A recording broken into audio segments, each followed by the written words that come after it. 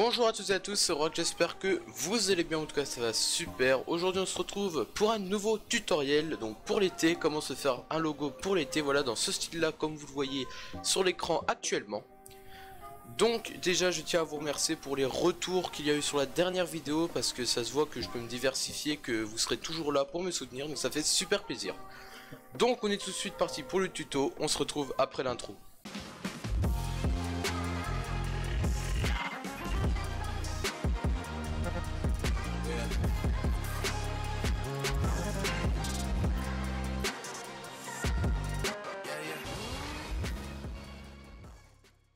Donc les gars, on va commencer par créer un fichier. Voilà, vous faites fichier nouveau. Donc je vais vous expliquer ce qu'il faudra euh, pendant le tuto. Voilà, quand le, fichier sera créé, excusez-moi. Donc de 1000 par 1000, voilà, tout simplement. En résolution 300 et avec euh, un contenu d'arrière-plan blanc. Et le mode électrique en RVP. Vous faites créer, voilà. Une fois que votre fichier est créé, donc pour ce tuto, vous allez avoir besoin euh, de textures Summer. Donc sur internet vous cherchez euh, Summer texture, vous allez trouver beaucoup de choses comme vous voyez à l'écran. Ensuite vous allez chercher Render Summer Manga. Donc comme vous voyez à l'écran, vous mettez en outil taille grand des couleurs transparents, comme ça vous avez des, images de bonne qualité qui sont déjà détourées, donc ça c'est super. Ensuite vous avez besoin euh, de palmiers donc pour rappeler l'été pour voilà pour rappeler l'été tout simplement. Donc vous allez chercher palme bah, tout simplement en fait ça veut dire palmier en anglais et vous allez trouver plein d'images de palmiers. Ensuite vous allez chercher bubble euh, texture, donc bubble en anglais ça veut dire bulle, et donc c'est des, textures de bulles, voilà tout simplement, qui rappellent l'eau, euh, donc la plage, donc l'été. Donc déjà ce qu'on va faire, c'est que sur votre document là, vous allez enlever le cadenas, donc vous allez rester cliquer avec vos clics gauche dessus, et vous allez glisser à la poubelle juste ici, voilà. Ensuite, vous allez prendre l'outil de sélection en cercle, donc qui est juste ici, vous voyez. Alors si à la base c'est un carré qui s'affiche, vous allez juste appuyer euh, longtemps avec vos clics gauche dessus et glisser sur l'outil Eclipse de sélection. Voilà. Ensuite, vous allez vous mettre dans un coin. Voilà, juste ici, donc bien sur votre calque. Vous allez vous mettre dans un coin. Vous allez simplement faire un cercle comme ça. Alors là, vous voyez, mon cercle il est dégueulasse. Donc vous allez appuyer sur Mage. Et voilà, là vous voyez, votre cercle est bloqué ça fait un cercle parfait. Donc vous allez bien le centrer, voilà, pour que ça atteigne tous les bords. Et ensuite vous appuyez sur la touche Supre de votre clavier. Une fois que ça c'est fait, vous pouvez faire CTRL D, vous faites sélection et désélectionner. Alors pourquoi on a fait ça? En fait ça va être la limite euh, qu'on va voir sur les logos, euh, donc sur téléphone. Euh, parce qu'en fait, comme vous savez, sur téléphone, c'est pas un logo carré qui s'affiche, un logo rond. Et en fait, ça, c'est tout simplement notre limite pour voir où placer la typo pour pas qu'elle dépasse, etc. Donc voilà. Une fois qu'on a ça, on va pouvoir passer au logo. Donc vous allez créer un calque en appuyant ici. Donc je pense que vous connaissez Photoshop. Euh, mes tutos c'est pour ceux qui sont amateurs de Photoshop, voilà, qui s'y connaissent un peu, pas pour ceux qui débutent. Je ferai sûrement une vidéo dans les prochains jours euh, ou dans les prochaines semaines, je sais pas, euh, pour savoir comment bien débuter sur Photoshop. Voilà. donc ensuite, donc là, voilà, on a créé notre calque. Donc celui-ci, si vous voulez, vous pouvez le verrouiller, voilà, pour vous rappeler que c'est celui-là. Vous pouvez même lui donner une couleur. Euh, pour bien vous rappeler que c'est ce calque là. par exemple, moi je le mets en jaune, voilà. Donc, une fois qu'on a fait ça, on va pouvoir importer notre fond. Donc pour votre fond, vous allez chercher euh, Beach Wallpaper 4K. Et en fait, ça vous donner des, fonds d'écran de, de, plage. Donc moi, je vais l'importer, on se retrouve juste après. Donc voilà les gars, j'ai importé mon fond, donc je vais le grossir, voilà, et le centrer. Donc moi, je vais le mettre comme ça pour qu'on voit un peu l'eau, etc.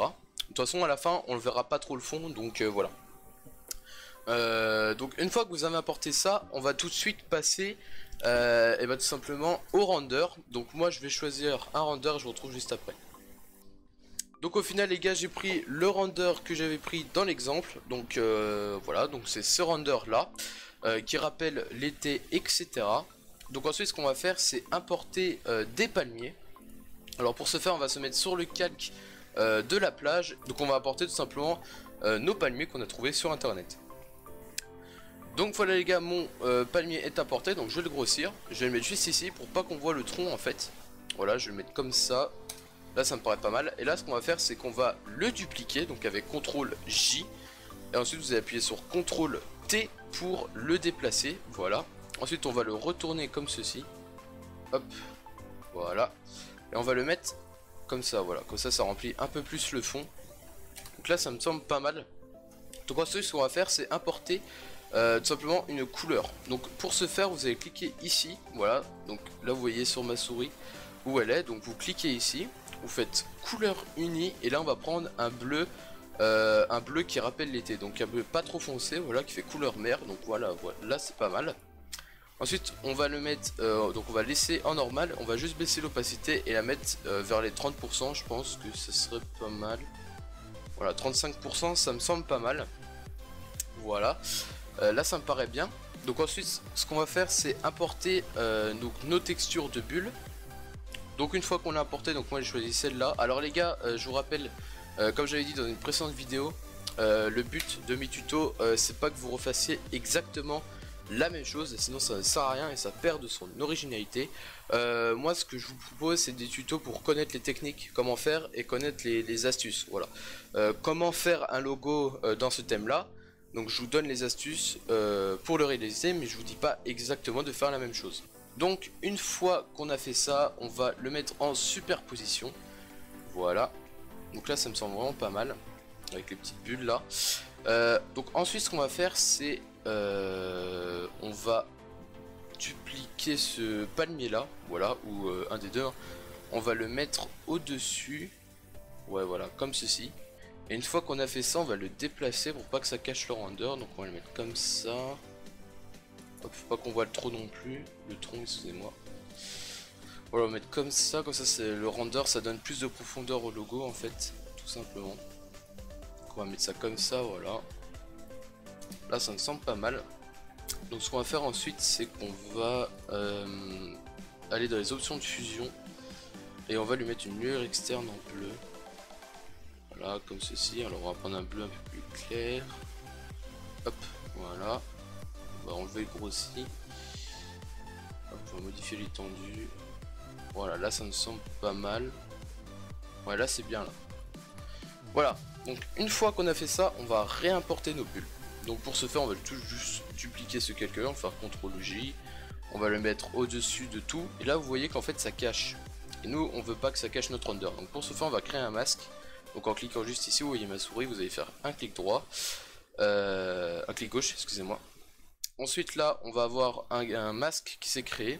Et en fait, ce masque va nous servir à gommer euh, sur ce calque. Donc ça s'appelle un masque, vous allez comprendre pourquoi. Donc là, je vais grossir ma taille.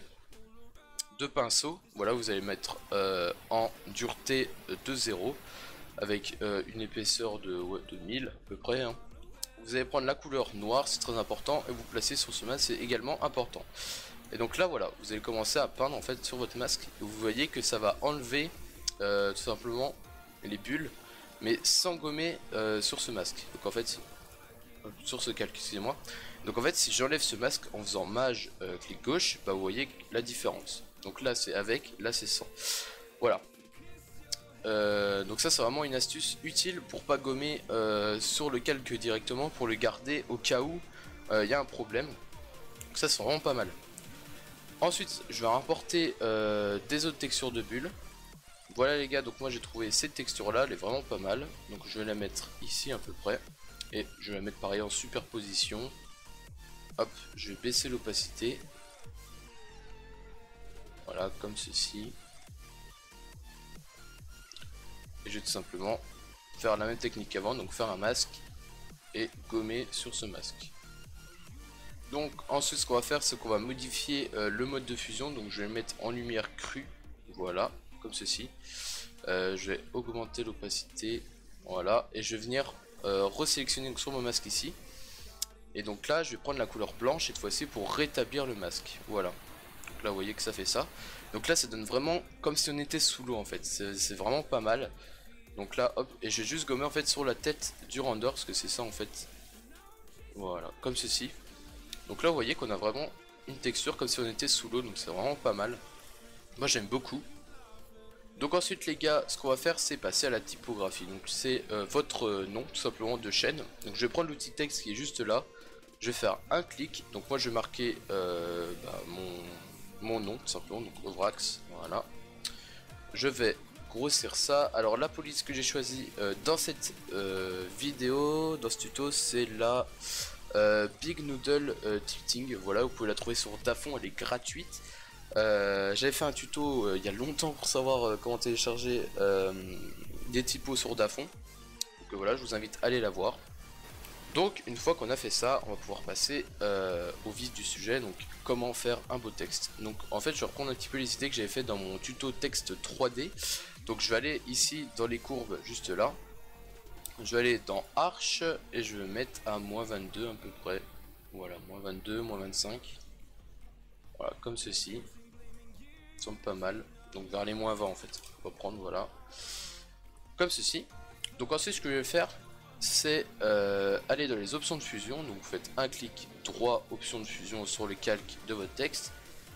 Vous allez mettre une incrustation en dégradé. Donc moi je m'étais déjà préparé un dégradé qui va du bleu euh, normal au cyan. Euh, très clair, donc presque blanc. Donc voilà, vous faites ça. Ensuite vous allez faire OK. On va mettre une lueur interne blanche en incrustation. On va modifier un petit peu la taille pour que ça soit un peu plus. Voilà, comme ceci. Ensuite, on va se mettre une ombre portée en noir. Voilà, avec une petite taille. Ça rajoute du flou et une distance pas trop grande. Voilà. Ensuite, on va se mettre une ombre portée euh, en bleu avec une opacité de 100, une distance à 14 et tout le reste à 0. Voilà, comme ça, ça nous donne ce texte-là qui est vraiment très sympa. Ensuite, on va mettre une lueur externe dessus. Donc là, on va la mettre en cyan. Voilà, un peu plus clair. Comme ceci. On va modifier la taille. Voilà. L'étendue également. Et l'opacité. Hop. On va se mettre comme ça, c'est pas mal. Donc ensuite, on va disposer notre texte, excusez-moi. Donc on va le réduire. Voilà, et on va le pencher un petit peu plus pour donner un petit peu plus de vie au texte. Hop, voilà, là ça me semble pas mal. C'est pas grave s'il est pas centré les gars, le but c'est qu'il rentre dans ce cercle blanc euh, pour qu'on voit tout le logo en fait. Donc une fois qu'on a fait ça, on va rajouter un calque, donc en cliquant juste là. On va prendre l'outil de pinceau dans une couleur cyan et on va euh, faire un trait dessus pour le mettre en incrustation. Voilà, comme vous faites un trait comme ceci. Là je me suis loupé, on va faire comme ça. On va le mettre en incrustation et on va baisser l'opacité tout simplement. Hop, voilà, ça me semble pas mal. Ça donne plus de vie. Et pour donner plus de vie justement à ce logo, le but ça va être vraiment de taffer la coloration de ce logo. Donc euh, j'avais fait un tuto il n'y a pas si longtemps euh, pour euh, améliorer vos créations avec la coloration. C'est vraiment pas compliqué à comprendre et ça rajoute vraiment beaucoup de vie et en fait une ambiance à votre création tout simplement. Donc je vais vous expliquer ça dans ce tuto. Donc on va tout simplement déjà mettre des points de couleur en rapport avec la couleur de votre logo. Donc là par exemple mon logo est bleu. Donc je vais prendre euh, une couleur bleue claire et je vais faire des points de couleur. Donc je vais en faire un là, un là. Voilà, vous faites un petit peu ça au pif en fait. Et vous allez mettre en superposition et vous allez baisser l'opacité. Voilà. Il faut que ça se voit un peu, voilà, comme ceci. Ensuite, on va faire de même avec des points blancs pour donner vraiment un esprit de fête et euh, vraiment de fraîcheur à ce logo. Et si vous voulez l'inverse, donner donc un esprit plus sombre, vous faites des points noirs en fait, tout simplement. Donc là, on va baisser l'opacité. Voilà, donc là, ça nous donne ça. Donc vous vous doutez bien que ça ne suffit pas. Donc cette fois-ci, donc là, on va rajouter, donc on va cliquer juste ici et là vous avez plein d'outils qui vont vous sauver la vie. Donc là on va rajouter de la luminosité et du contraste. Donc la luminosité pas trop parce que sinon on voit plus rien en fait. Le contraste ça va être hyper important. Voilà, vous mettez pas à fond, vous mettez... Euh, en fait il faut savoir doser en fait, c'est ça le truc. la petite astuce c'est de savoir doser pour pas en fait que ça soit trop saturé et trop moche. Là la vibrance, pour vous faire plaisir, vous pouvez la mettre à 100. Et la saturation, vous voyez que vraiment ça donne trois fois plus de vie à votre logo en fait, trois fois plus de couleurs en fait. Donc là on va pas trop la forcer, on va la mettre à 29, voilà. Vraiment les gars, c'est vraiment une astuce euh, hyper euh, simple qui vraiment sauve un logo quoi. Ensuite la teinte à saturation, on va juste toucher la saturation encore une fois. Et là, vous allez pouvoir toucher à votre teinte de logo. Donc là vous voyez que ça fait des trucs hyper moches. Mais moi par exemple si mon logo je veux qu'il soit un peu plus clair, je vais décaler un tout petit peu vers la gauche pour donner un petit peu plus un aspect un peu plus vert. Ou vers la droite pour donner un aspect un petit peu plus bleu. Alors faut pas aller dans les extrêmes, mais là, euh, parce que sinon vous voyez en fait ça fait tout simplement dégueulasse. Donc moi je vais juste rajouter un petit peu de vert en fait à mon logo, donc je vais faire décaler un tout petit peu vers la gauche, voilà. Ensuite euh, je vais rajouter, alors là ça va être la partie un peu plus technique. Donc là je vais rajouter un filtre photo. Donc là je vais choisir un filtre refroidissant en 80. Hop, et donc là vous voyez que ça donne plus de vie également. Ensuite je vais rajouter une correspondance de couleurs. Donc là en fait ça va être plein de filtres préchargés euh, sur Photoshop. Donc ça c'est des presets en fait de Photoshop simplement. Et ça vous donne déjà plein de trucs faits euh, à l'avance, donc ça c'est hyper cool. Donc moi je vais prendre celui-là, le 3 strip look, euh, je le mets partout sur mes créations. Ensuite je vais en remettre une autre et cette fois-ci je vais mettre la bleach bypass et je vais baisser l'opacité tout simplement. Donc ça marche comme des calques normales en fait. Donc je vais baisser l'opacité, voilà. Comme ceci. Une fois que ça c'est fait, je vais rajouter une correction sélective et ça, ça va vraiment vous sauver. Donc là, vous pouvez euh, en fait corriger les couleurs de la création en général. C'est pour ça que la correction sélective, il faut vraiment la mettre tout en haut. Donc là, vous pouvez voir que le rouge, il y en a juste ici. Donc ça, ça m'intéresse pas. Donc là, ce qui nous intéresse, c'est les couleurs sillants, parce qu'il y en a beaucoup. Donc là, vous voyez que si je décale, donc là, ça va donner un aspect plus mauve, et donc là, un aspect plus bleu. Donc nous, nous on veut plus bleu, donc c'est ce qu'on va faire. Là, voilà, ça va vraiment corser la couleur bleue. Ensuite, avec le jaune, ça change pas trop, ça change pas des masses. Il y a juste ici, vers le palmier, vous voyez à gauche, au-dessus du texte, que ça change. Donc je vais pas trop forcer dessus. Et le noir, faut toujours le mettre à 100, parce que vous voyez qu'ici, ça donne vraiment une couleur fade. Donc le noir à 100. Et ensuite le bleu, et eh ben on va faire pareil. Vous voyez que là les cheveux sont un peu plus roses, donc moi c'est ce que je veux, mais je vais pas forcer dessus. Je vais juste mettre comme ça. Le magenta c'est pareil, vous voyez. Moi je vais juste mettre comme ça. Le jaune ça change rien. Et le noir, je vais le mettre à fond, pas trop non plus. Pas trop abusé. Hop, et donc là vous voyez que vraiment la correction a sauvé votre création. Dernière petite astuce qui peut vous sauver également, donc vous allez vous mettre, euh, donc vous allez créer un nouveau calque et cette fois-ci ça va être les courbes de transfert et dégradé. Donc là vous voyez que je les avais déjà préparé, donc ça va du blanc jusqu'au cyan. Voilà, ça je vais le mettre en superposition. Et j'ai baissé l'opacité pour que voilà, elle mette vers les 8, voilà vers les 10. Ensuite je vais en refaire une autre, mais cette fois-ci dans l'autre sens, donc là je vais faire inverser, cliquer ici, et je vais faire superposition, pareil, et je vais baisser l'opacité. Donc là vous voyez qu'on a fait un logo vraiment vraiment frais en fait. C'est ça que j'aime beaucoup. C'est que ça rappelle vraiment l'été. Donc ça c'est vraiment super cool.